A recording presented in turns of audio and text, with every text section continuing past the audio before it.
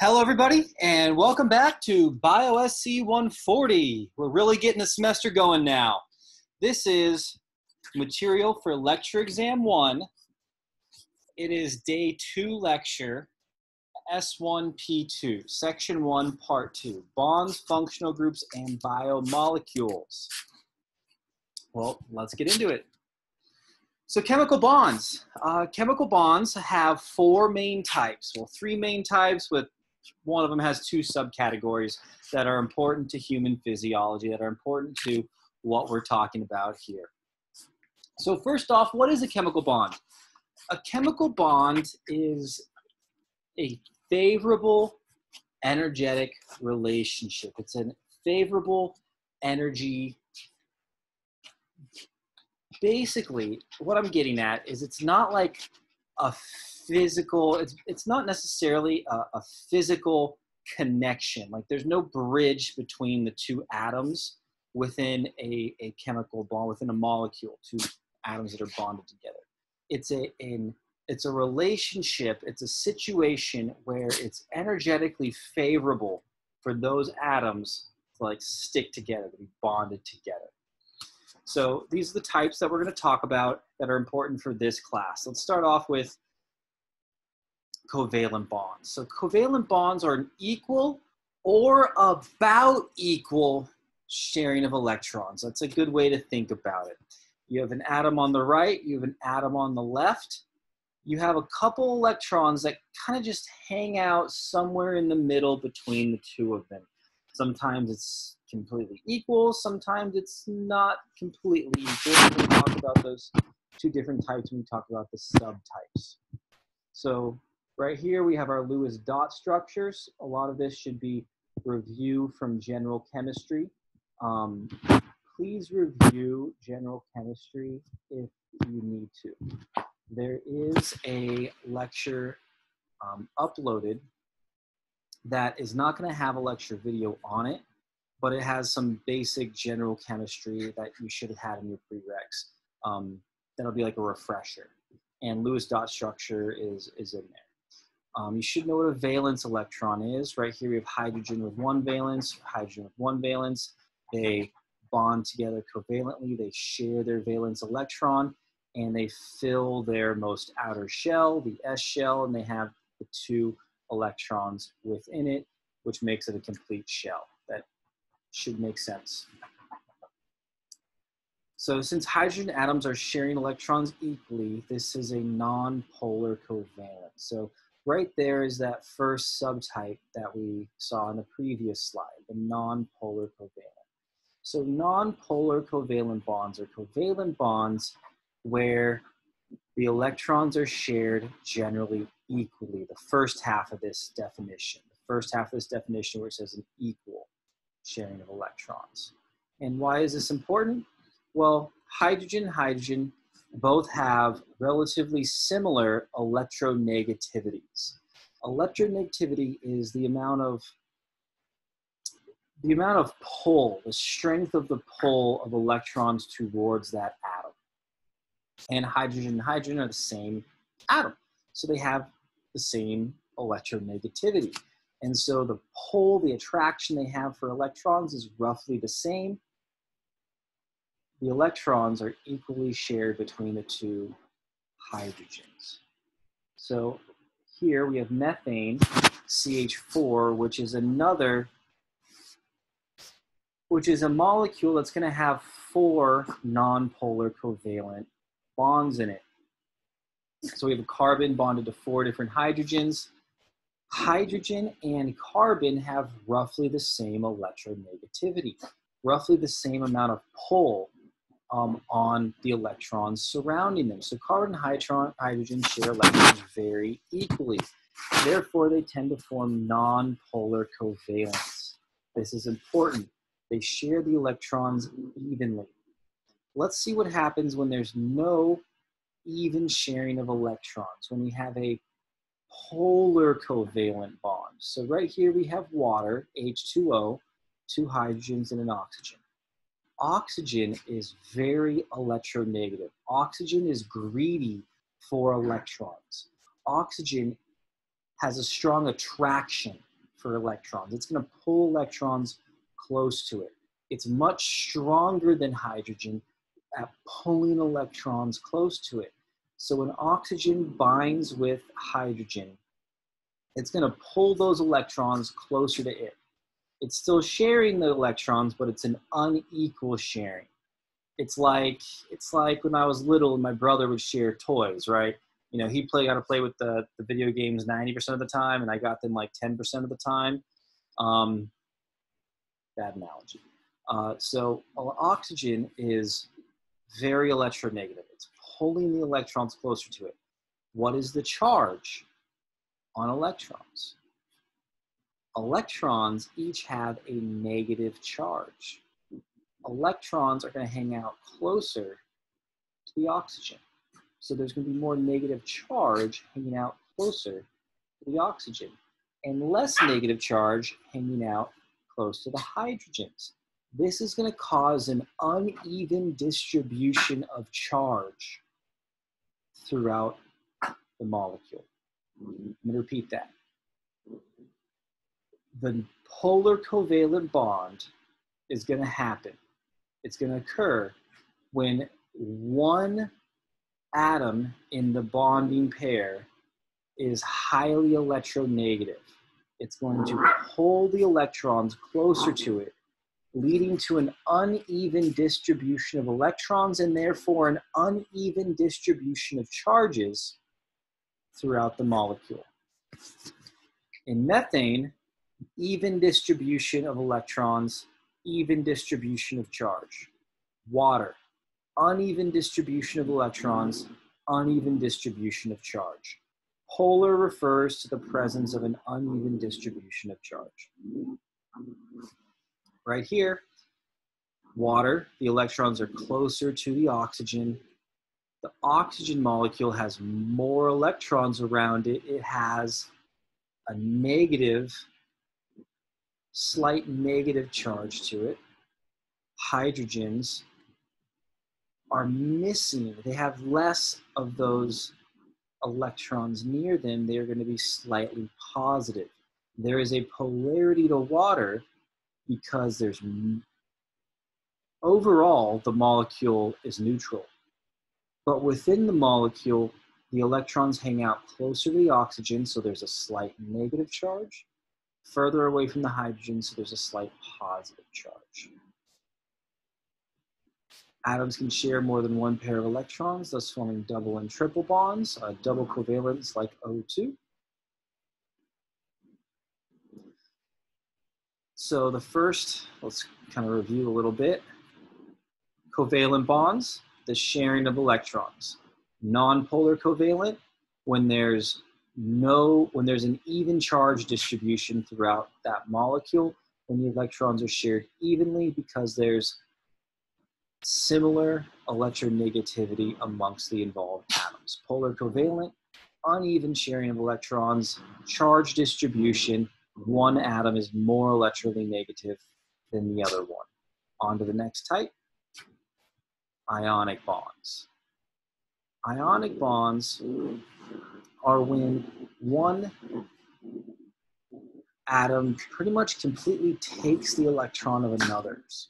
So right here we have sodium with one valence electron, and the chlorine atom has seven valence electron at once eight Sodium is going to completely give up its outer valence electron.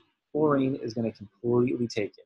We're going to end up with a completely positive charge, one positive charge under sodium, one positive charge, the sodium ion, and chlorine is going to change its name to chloride ion, and it's going to have a negative charge. Negative sodium chloride, that's salt. So the electrostatic attraction of sodium and chlor uh, positive sodium ion and negative chloride ion is the ionic bond. So chlorine steals the electron, sodium becomes positive, chlorine becomes negative. The charge, the positive and negative charge are attracted. Now in ionic bonds, something I want to point out is that pure sodium and pure chlorine are very different than when they come together and form this ionic bond. So sodium chloride is something that we put on our food all the time. It's table salt, and we eat it all the time, and it's we need it. Sodium, pure sodium, pure sodium metal, looks like this on the bottom left. And its properties are very different than table salt. If you drop table salt in water, what happens? The sodium, the chlorine dissociate, and get salt water. It's like an ocean, it's fine when you drop pure sodium metal in water, it's, it actually responds violently and, and can explode. Um, YouTube it. YouTube dropping sodium metal into water. It, it goes boom. It reacts violently. Chlorine, pure chlorine gas, this yellow in the middle, is super toxic. Chlorine gas, yeah, you don't want to breathe it in. It's not good for life. Very toxic. But you combine the two ionically, you get table salt, which we eat every day. Hydrogen bonding is the last type of bonding, and I feel like this is the one that students have the most trouble getting. But really, it's pretty simple. We're, we're going to get this. So hydrogen bonding requires hydrogens, hence the name. When hydrogen is covalently bonded to an electro, a very electronegative atom. So in this class pretty much always oxygen, nitrogen, oxygen or nitrogen, sometimes phosphorus. Um, hi, for this class, oxygen, nitrogen. Um, oxygen, and nitrogen are strongly electronegative. They're going to pull the electrons close to them so that there's a slight negative charge on the oxygen or nitrogen and a slight positive charge on the hydrogen that slight positive charge on the hydrogen can be attracted to a slight negative charge or negative charge on another molecule.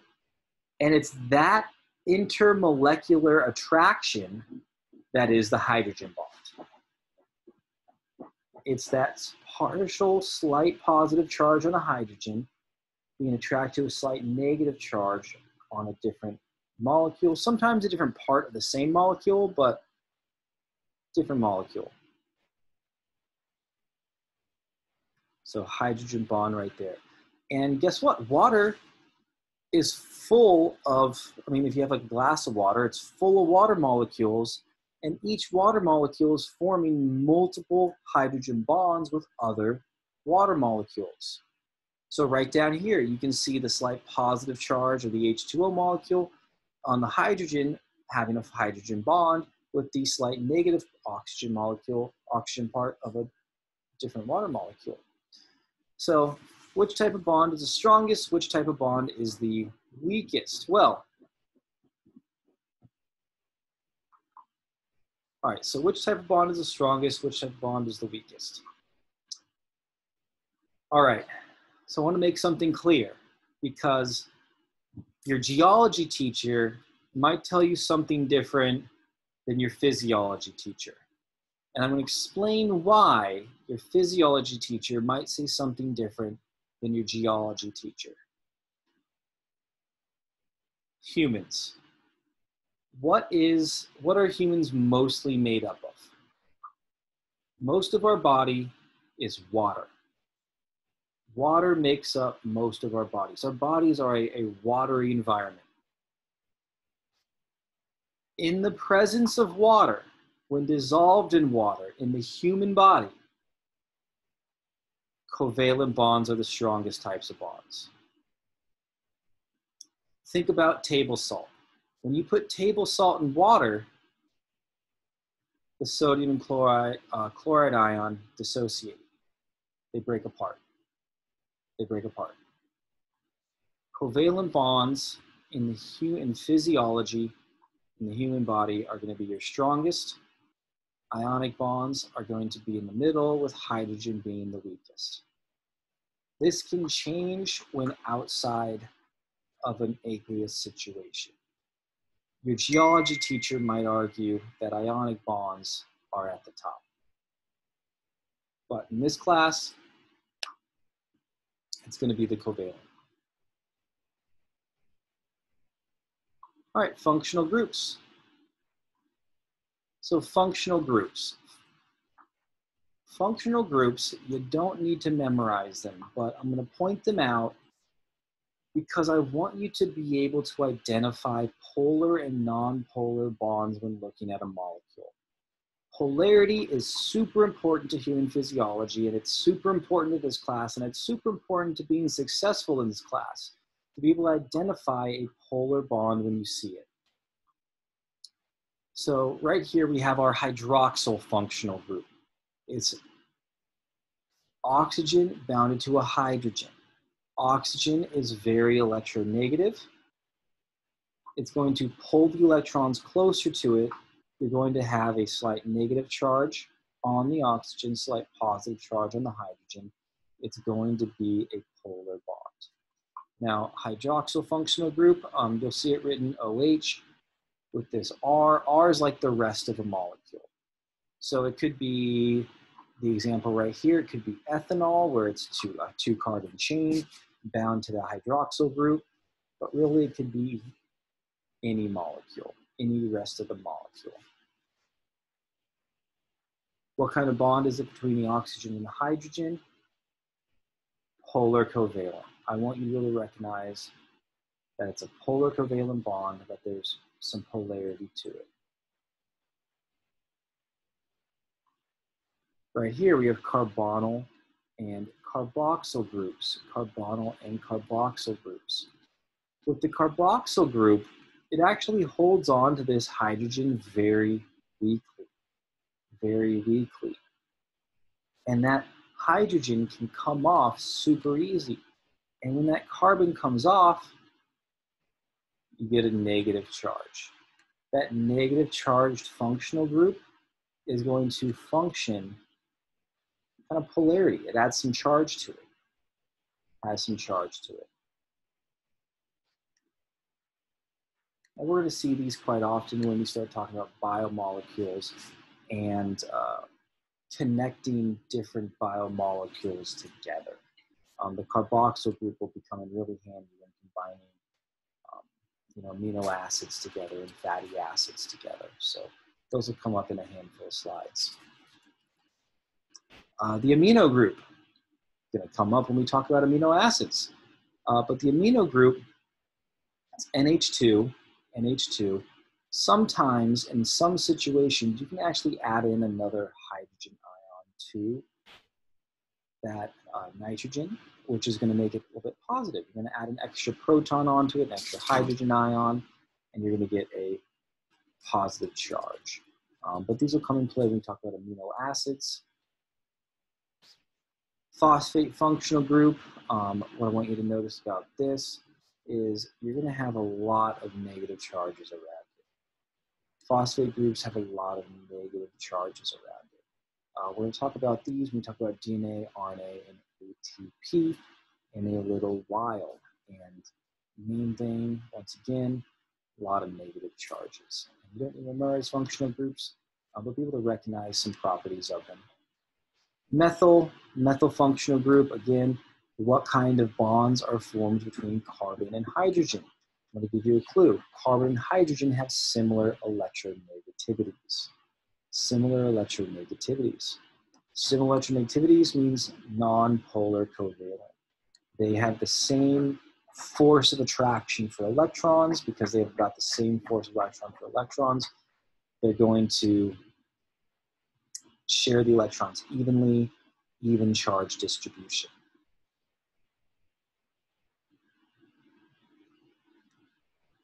Organic molecules. Uh, we're going to get to this question down here in a little bit. Uh, organic molecules. So you should know what an organic molecule is.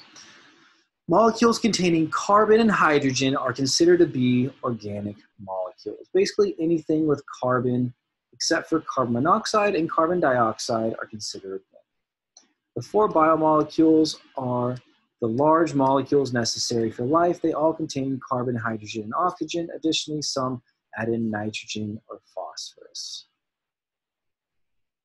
So chomps is actually C-H-O-N-P, chomps. Yeah. All right, so these are the four main biomolecules. The rest of this lecture, we're going to talk about the four main biomolecules, and we're going to talk about these pretty steadily throughout the whole semester. Think of these as the building blocks for the molecules that make you up. I'm going to make an analogy. So carbohydrates, you could think of as Legos. You put different Legos together, you can form a big structure. Think of lipids then as like a competing brand, a competing brand of kids building toys. So like Lincoln Logs, if you know what they are. They're like Legos, but made by a different company. You can put little tiny Lincoln Logs together and form different structures. Proteins could be like K'NEX, another brand of you know, building materials where you have small pieces that you put together to build up a large molecule and so on. So you have carbohydrates. Carbohydrates have their small building blocks called monomers. Mono means like one. So monomer is like a one unit. Carbohydrate monomers, you can bind carbohydrate monomers together and you get large carbohydrate molecules. Lipids, you have your monomers of lipids, you can bind them together, you get large polymers, poly meaning many, polymers of lipids and so on. So let's, let's dive into each one of these. So the monomer, I asked this test question, it's gonna be on a checkup, it's gonna be on the test. Be ready for it, just giving you a heads up. Um, the, I want you to know the monomer of each main type of organic molecule. So I want you to know the monomer of carbohydrates, the monomer of lipids and proteins and so on. So the monomer of carbohydrates is going to be the monosaccharide. Saccharide refers to sugar, so the one sugar, monosaccharide. Polysaccharide is going to be a chain of these monosaccharides, a chain of carbohydrates. Um, if two monomers are together, sorry, two saccharides are to, um, joined together, what is that called? It's actually called a disaccharide. Di meaning two, disaccharide. Polymer is going to be about four more. Polysaccharide about four more. So monosaccharide one, disaccharide two, monomers combined together. Polysaccharide is going to be many. And these you're going to find, uh, a lot of people think of carbohydrates as an energy source. And yes, carbohydrates, there are energy stored in, in polysaccharides and carbohydrates. Um, it also is forms some structure and some signaling uh, functions also, some structural and signaling functions also. The monomer for lipids is going to be the fatty acid. The monomer for lipids is going to be the fatty acid. Um, lipids are very functionally diverse. Um, you use them for energy, insulation, uh, cell membranes, hormones. So, you know, people think of fat, they think of energy, you know, yeah, go run so you can lose some, some, some fat, some lipids. Um, so energy storage, um, our cell membranes are made out of lipids. We're gonna get into that next lecture. Also, a lot of hormones are fat-based. A lot of hormones are fat-based. When we talk about hormones, we're gonna learn which ones are, or a number of them that are. Amino acid is the monomer for a polypeptide or a protein. Polypeptide is another name for, well, for a protein. We're gonna get into that though. Um, proteins are very functionally diverse. Um, some proteins are enzymes, some proteins are for structure, like, um, like collagen. Um, some proteins are hormones. Some proteins carry smaller molecules, antibodies, gene regulation, um, movement, all for amino acids. Nucleotides. So a nucleotide is the monomer of a nucleic acid. And nucleic acids, most people think of DNA or RNA, uh, but also ATP is a nucleic acid. So let's get into these a little bit more. So polymer means many mer, like many small pieces together. Monomer, like a one piece. let's look at how we can connect these small pieces into this large chain to make an even larger chain. So this is how it's going to work for most of these building blocks, most of these monomers. We're going to have what's called a dehydration reaction. So D meaning like like dehumidify, like to reduce. You're going to take a water out. Dehydration reaction. It's a taking a mm-hmm. water out reaction. So we're going to have this OH group on the short polymer. We're going to have this hydrogen on the monomer. We're going to combine this OH with this H to form H2O. And when we remove that H2O from the combined molecules, it's going to combine them together into a larger polymer. This is called a dehydration reaction, also called a synthesis or condensation reaction synthesis or condensation reaction.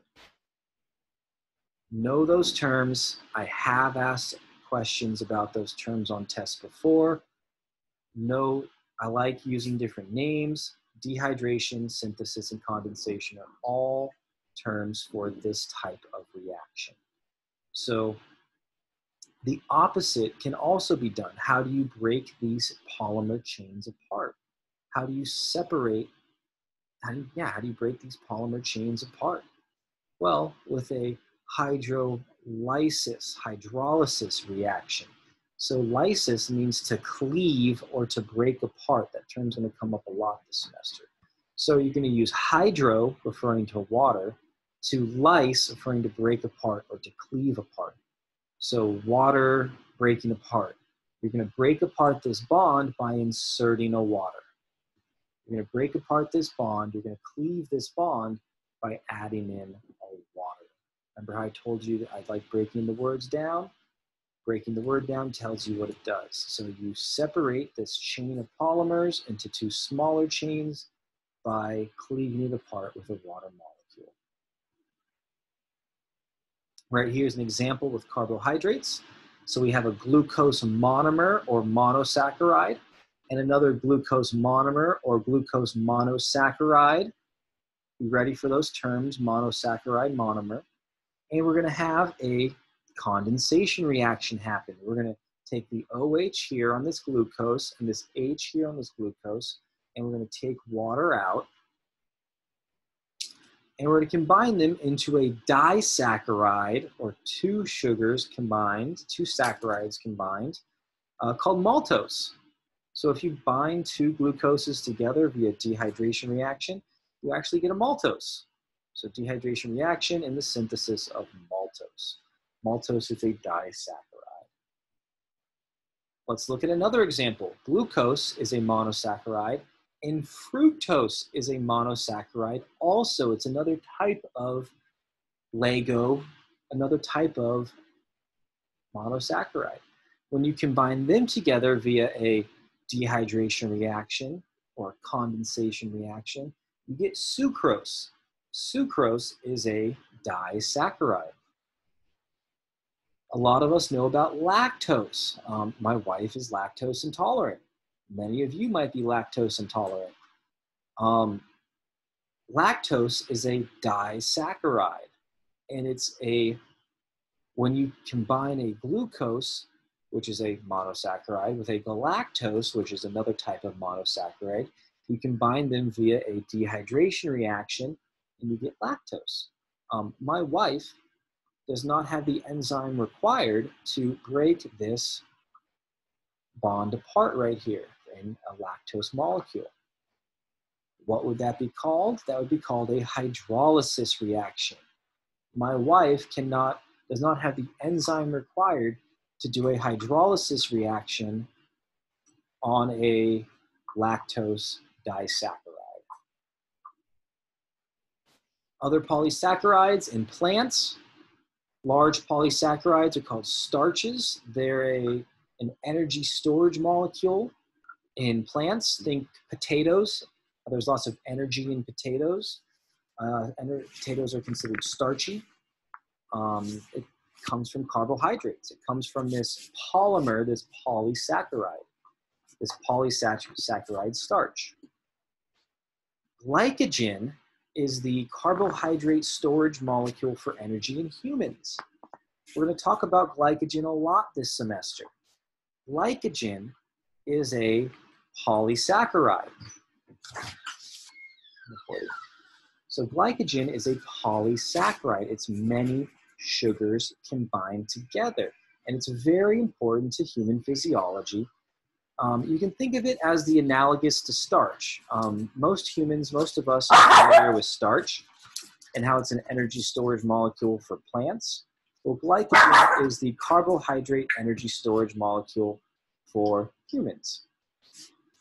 Cellulose is another common polysaccharide. It's more for structure than it is for energy storage, though, in plants. It's in the cell wall of, of cell plant, plant cells. So depending on their structure, dietary carbohydrates can lead to quick but brief or slow but persistent increases in sugar. So fresh fruit like an orange is sweet. It has a lot of simple sugars. It has a lot of monosaccharides and disaccharides. Think fructose. Fructose is a monosaccharide.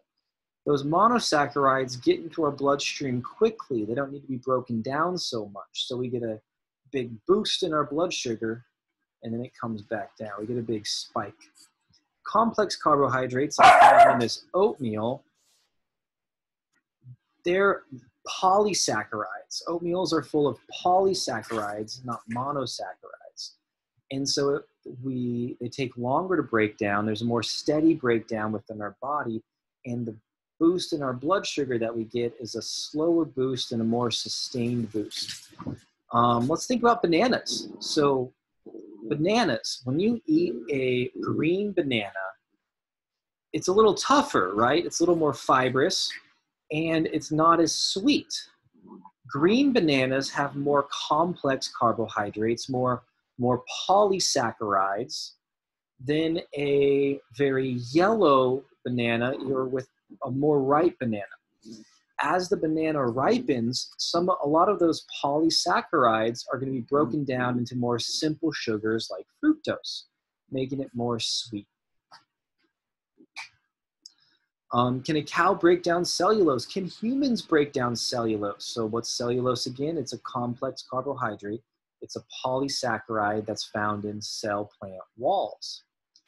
Actually, no. Humans and cows, mammals actually cannot break down, they cannot break the bonds between the sugars in cellulose. But we have bacteria in our bodies that can. Cows have bacteria that can break down cellulose. And by break down cellulose, I mean do the hydrolyse reaction, um, catalyze the hydrolysis reaction that breaks apart those polysaccharides. Um, bacteria can do it, but mammals can't. Mammals have bacteria in their guts that can do it. Cows have, have the bacteria, and so do humans. So when I eat broccoli, I love broccoli, eat a lot of broccoli. The cell walls present in that broccoli are broken down by bacteria. Moving on to lipids. So lipids are the most structurally diverse biomolecules. Lipids are non-polar. Um, let me go back a second. So these sugars, look at all those OHs. Look at all those OHs. That's going to make sugars polar. Sugars are going to be polar. When you put sugar in water, it dissolves, it's polar. Lipids are going to be pretty much non-polar, pretty much non-polar. So I am going to kind of throw something in there. We talk about polar and nonpolar pretty much every class this entire semester. It's really important. And one main reason for it is that polar molecules like to mix with other polar molecules, and nonpolar molecules like to mix with nonpolar molecules. So, vinegar and water are both polar, they like to mix ethanol and water are both polar. They like to mix. Oil, like vegetable oil and water, vegetable oil is non-polar. Oils are non-polar. Water is polar. oil and water do not mix well because one's nonpolar and one's polar. Polar molecules mix with polar molecules. Nonpolar molecules mix with nonpolar molecules. Lipids are considered hydrophobic. Let's break that word down. So hydro refers to water. Phobic means like fear, like arachnophobia. Phobic means fear. So lipids are water fearing. Lipids do not mix with water because water is polar and lipids are non-polar. Uh, lipids are most, mostly hydrocarbons. Let's break that down. Hydrogen, carbon, um, carbons. They're mostly C's and H's. Um, butter are as lipids. Um, wax, like a beeswax, are lipids. Why is Barry Bonds on this slide? Well, because steroids, remember how some hormones are some hormones are lipids? Steroids are lipids. So subclasses of lipids, fatty acids, that's the fundamental unit. Triglycerides, which we're going to talk about in a moment. Phospholipids, which make up your cell membranes. And steroids, which are a type of hormone, are all lipids. So right here we have a lipid. Right here we have a fatty acid. Now let's look at this fatty acid. Carbon and hydrogen, carbon and hydrogen, carbon and hydrogen, carbon and hydrogen for most of the molecule. What do we know about carbon and hydrogen when they're bonded together? They share electrons evenly. They share electrons evenly, they're non-polar. Over here, we have some oxygens. Now, oxygen and hydrogen are going to unevenly share electrons. So there will be some polarity to this aspect of the molecule, but the rest of the molecule is so large and so nonpolar that this molecule is going to act very nonpolar. So despite this little bit of polarity here on this molecule, it's going to be a very nonpolar molecule. So fatty acids have methyl groups and carbonyl groups at the end. So methyl groups are all nonpolar, little bit of polarity with the carbonyl group. So triglyceride. Uh, this is triglyceride right here, one type of lipid that we're going to talk about. Triglyceride. So the triglyceride is going to have two main components. It's going to have fatty acids, and it's going to have glycerol. So palmitic acid is the type of this one specific fatty acid. There's lots of different types of fatty acids, but they all look like this. They all have long chains of carbons attached to a functional group like this. And then glycerol. Glycerol is, every glycerol and triglyceride is going to look just like this. It's going to have three carbons attached to OH groups. Three carbons attached to OH groups.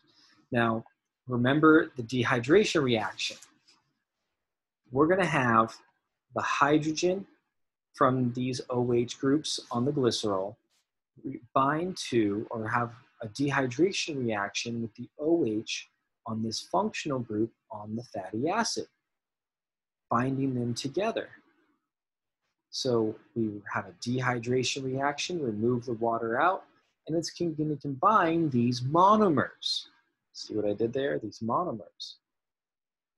We're going to have so that's how these fatty acid chains are going to bind to a glycerol. So why is it called a triglyceride? Well, it's called a triglyceride because there's three carbons on a glycerol. We can have three fatty acids bind to it. So this is a triglyceride. This is a fat molecule. This is a triglyceride.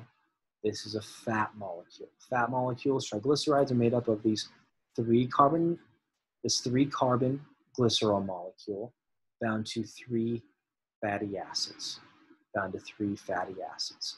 As you can see here, each fatty acid is different. There's lots of different types of fatty acids, and different fatty acids will bind to glycerol molecules. So would you want a long-term energy storage molecule to be acidic well, it's this acidic hydrogen right here, this functional group that allows for it to be to bind to a glycerol. It allows it to form these um, polymeters, polymerers, and that's why it's beneficial to have this stored energy storage molecule be acidic. Um, how many fatty acids can be attached to one glycerol molecule? So glycerol has three OH groups, three carbons. One fatty acid can bind to each one of them. So three fatty acids can bind to one glycerol, triglyceride, tri meaning three, and then glycerol, glycerol.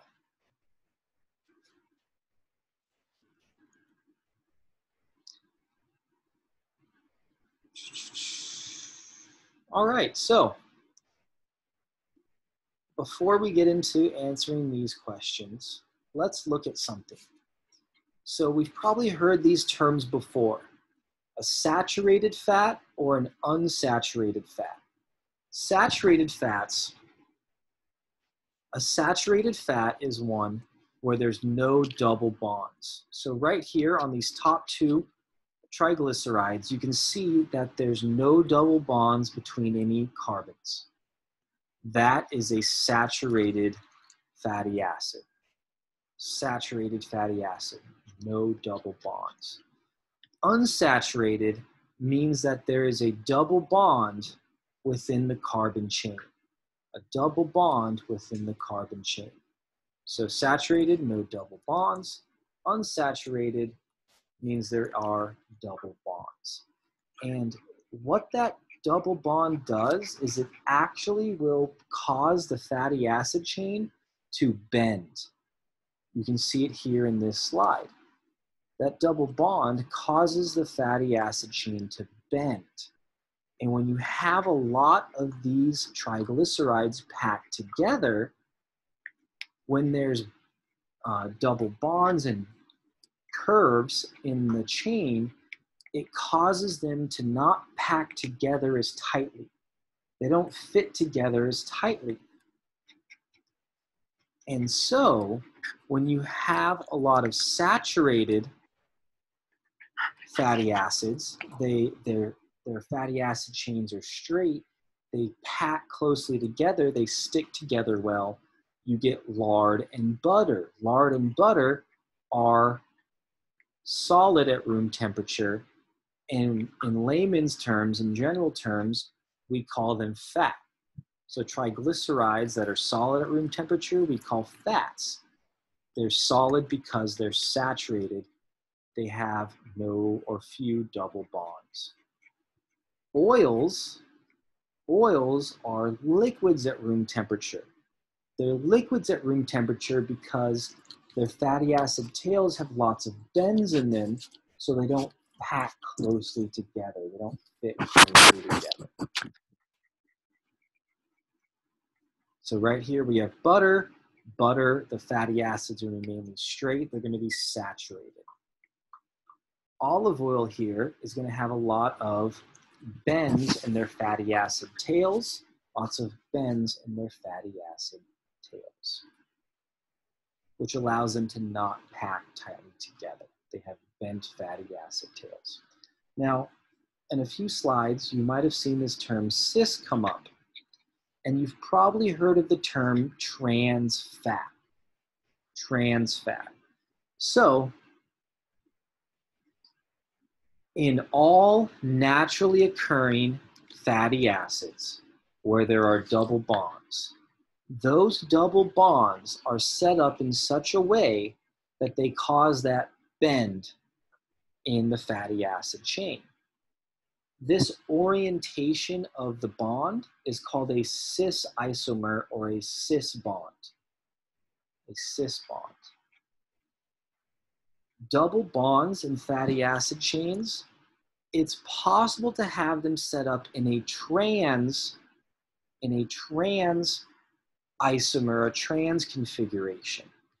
And a trans configuration allows the fatty acid chain to have a double bond, but no bend to the chain. The chain will remain straight. You only get these trans isomers in a lab. They don't happen naturally. We can make them happen because we're humans and scientists and smart like that, but they don't happen naturally. They happen in a test tube. They happen because of human interference. Naturally occurring fatty acids are in the cis configuration, they're bent. Trans fatty acids are straight, just like saturated fatty acids. Another subcategory of lipids are uh, your steroids. Estradiol is a steroid, it's a hormone. Testosterone is a hormone. There are lipid based hormones. Proteins. Proteins are polymers of amino acids. So you can connect a bunch of amino acids together and you get proteins. Proteins all have a similar structure, and I want you to know the structure. Um, actually, all amino acids have similar structure, and I want you to know the structure of amino acids. We're going to talk a lot about these in lab also. Um, I believe it's lab four. We're going to talk a lot about uh, proteins and amino acids. So let's look at the structure of an amino acid. All amino acids are going to have this general structure. They're going to have what's called an alpha carbon. Right up here, alpha, central alpha carbon. This central alpha carbon right here in the middle is going to have a carboxyl group attached to it right here. Remember, carboxyl groups, this hydrogen here is acidic. That's where the name amino acid comes from. Acid comes from this acid right here, this acidic hydrogen. All amino acids are going to have this amino group right here, this NH2. That's where the amine in the amino acid name is going to come from. So amino, referring to the amino group attached to the carbon, the alpha carbon. Acid, coming from the carboxyl group coming attached to this carbon. What's going to make amino acid, one amino acid different from another amino acid is what's called the side group or the R group. So all amino acids have this amino group, alpha carbon and carboxyl group. What makes them different is this side group. And the side groups vary pretty widely from amino acid to amino acid. Now, remember the amino groups we talked about? Functional groups, they can accept a hydrogen Remember when we talked about the carboxyl group, they can lose this hydrogen. Well, in amino acids, we're actually going to connect. We're actually going to connect the carboxyl group with the amino group. So the way it's going to work is we're going to take this hydrogen, one of the hydrogens on the nitrogen, we're going to take this OH, we're going to do a dehydration reaction, and we're going to combine amino acids that way We're going to combine amino acids by taking this OH and one of these H's and combining them that way, dehydration reaction. So here are the 20 amino acids. You can see they all have alpha carbons, they all have amino groups, they all have carboxyl groups, they all have different R chains, they all have different side chains, which is what make them different. Dehydration reaction is what combines them together. So two amino acids are joined are called a dipeptide. So there's the, the word, uh, the, if you break the word down, di means two. Peptide refers to amino acids. So a dipeptide would be two amino acids combined together. What would you call 100 amino acids joined together? Well, you'd call them a polypeptide. Remember, poly means many, polypeptide proteins do a lot of different things. Proteins have many functions, from enzymatic functions to structural um, functions like collagen or elastin to storage proteins, transport proteins, hormones, receptors, lots of functions. So this next concept, some students have been exposed to before, some have not.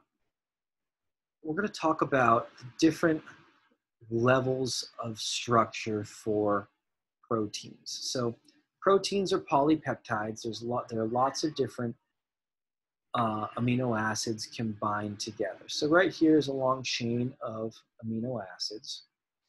The primary structure, when talking about proteins, I'm going to talk about different levels of structure primary, secondary, tertiary, quaternary.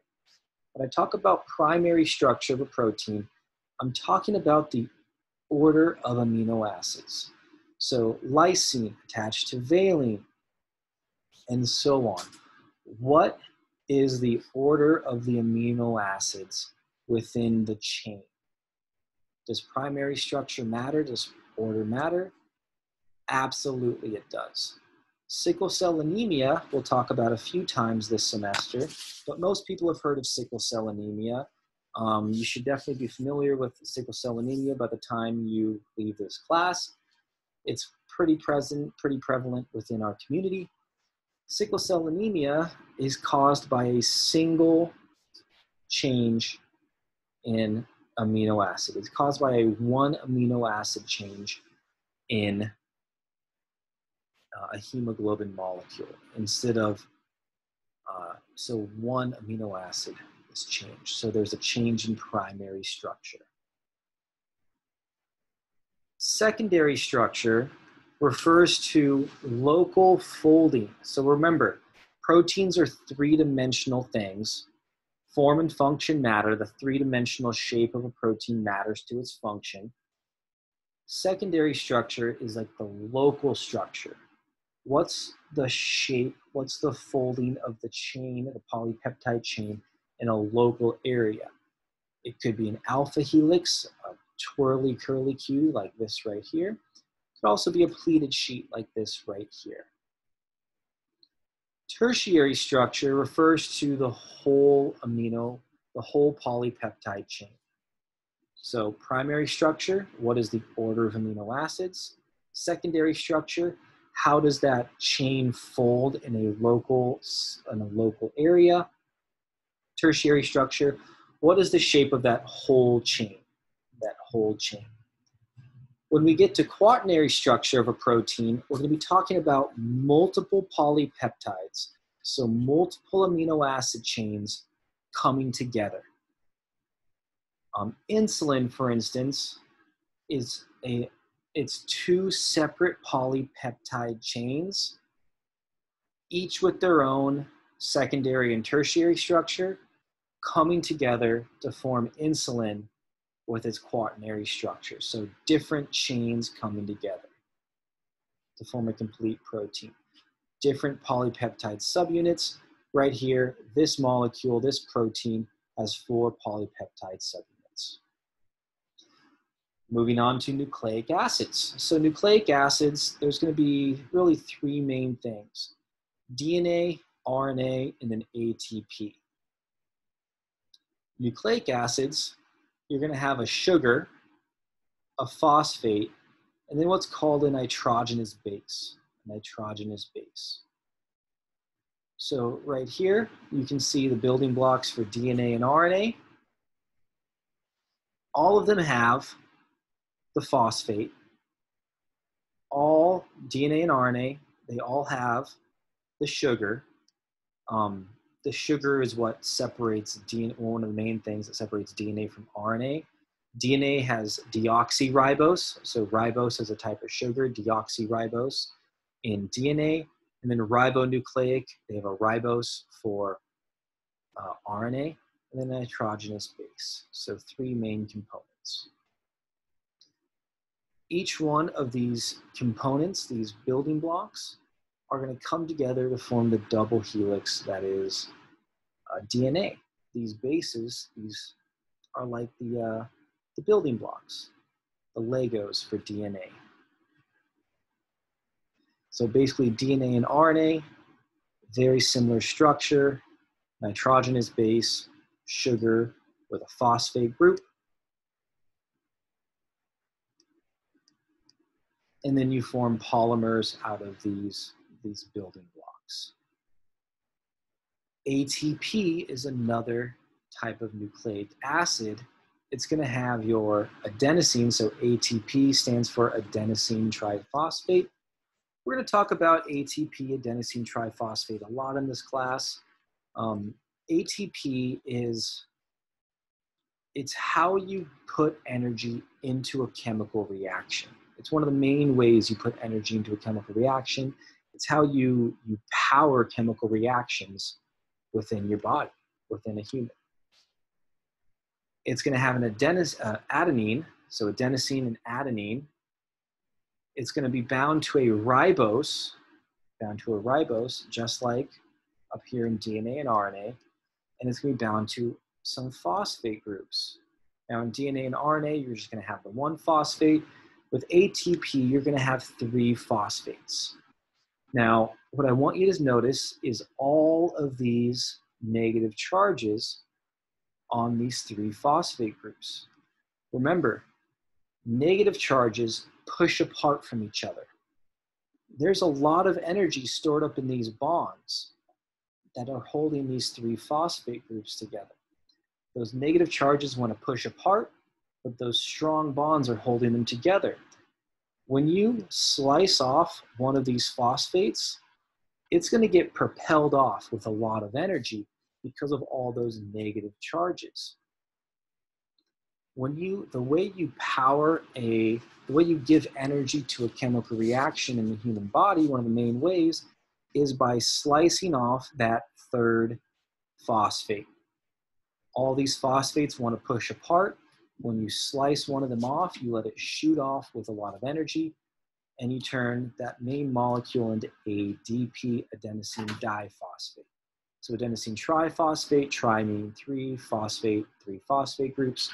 You turn adenosine diphosphate, di meaning two phosphate groups.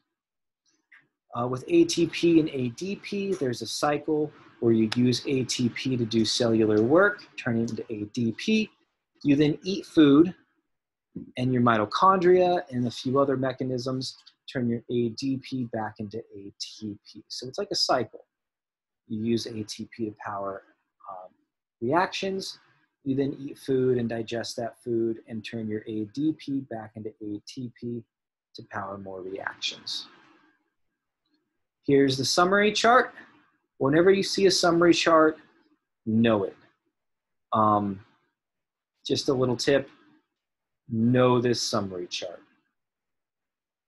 And let's move on. All right, um, well, I'm gonna add in one thing else, one other thing. This column right here about the kilocalories per gram, we're gonna talk about that in a later date.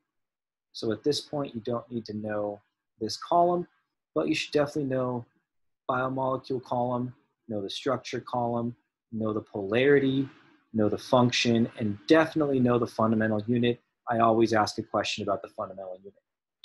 And with that note, on that, please email me if you have any questions. This is concluding the uh, lecture two.